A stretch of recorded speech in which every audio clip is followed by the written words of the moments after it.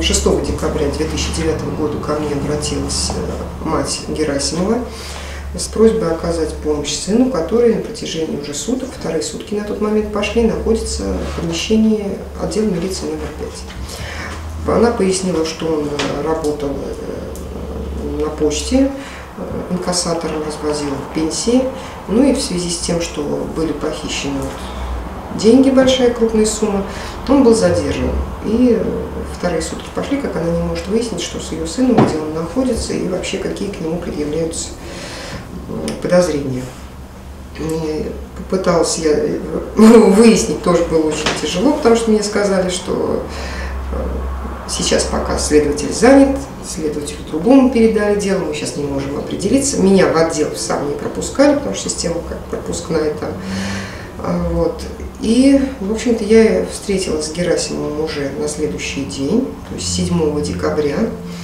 Вечером 7 декабря он был отпущен, перед этим он был допрошен как свидетель.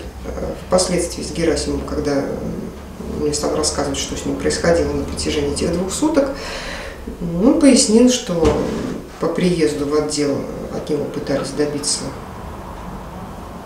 ну, я не знаю, как это назвать, правду, что ли, неправду, но него пытались выяснить, куда он мог деть деньги. Он объяснял, что никакого участия, причастия, не, не причастен абсолютно к совершению кражи. Вот. Ну, после чего в отношении него были применены пытки. На него одевали целлофановый пакет, а, пытали током, наносили телесные повреждения. Все это продолжалось на протяжении двух суток. За это время только 7 числа, вот с 5 по 7 он не кушал, ему не давали есть. Несмотря на то, что мама приносила э, покушать, чтобы передали, у нее тоже не принимали эти передачки. Ну вот. Ну, 7 числа его выпустили. За это время его возили, как он пояснил, в Кобру проверяли на полиграфии, постоянно с ним работали сотрудники. Его э, отправляли, он ночь провел в камере для административно задержанных, но официально по документам он нигде не проходил. Вот. Ну и в дальнейшем, 8 э, декабря, на следующий день, так как он 7 вечером уже был отпущен, 8 с утра он поехал в бюро судебно-медицинских экспертиз, где провел э, исследование, ну и, в общем-то, оно подтвердило наличие телесных повреждений, в том числе эксперты не исключали, что э, те телесные повреждения, которые у него есть на пальцах там, и на ногах, они именно от действия тока. Ссадины на первом пальце левой кисти, на правом предплечье правой голени, вот эти повреждения образовались от действия тупых твердых предметов. А ссадины на первом пальце левой кисти и на, правом, на правой голени могли образоваться от действия электрического тока. Ну, ему били, по голове его били, и по телу наносили удары. Это сотрудники вот, в ходе вот этих двух суток нахождения его там.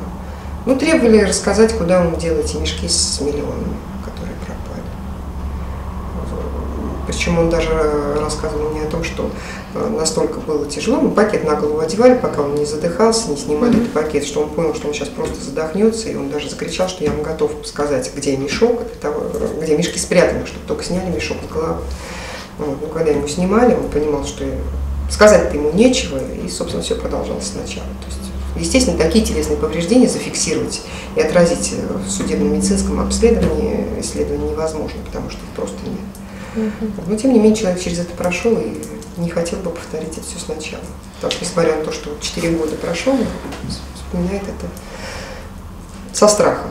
Ну, в различные инстанции были нами написаны жалобы, э, однако было вынесено постановление об отказе в возбуждении уголовного дела. Ну и в дальнейшем Герасимов пояснил мне, что он хочет побыстрее забыть этот ужас, не хочет возвращаться ко всему к этому, поэтому мы прекратили так, обжаловать э, решение э, следственных органов. 29 января Герасимов ко мне обратился, пояснил, что он был вызван. Это же этого года? Да, в этом году, 29 декабря, э, января 2014 года Герасимов пояснил, что 28 накануне был вызван следователем следственного отдела по Октябрьскому району города Саратова Следственного управления Следственного комитета а вот, э, Якушевым, который задал ему два вопроса. Первый вопрос, есть ли у него на сегодняшний момент претензии к сотрудникам оперативным, которые причинили ему телесные повреждения. Ну, а если таких претензий не имеется на сегодняшний день, то нужно подтвердить, что телесные повреждения, которые у него были зафиксированы, они были получены им до поступления в отдел милиции.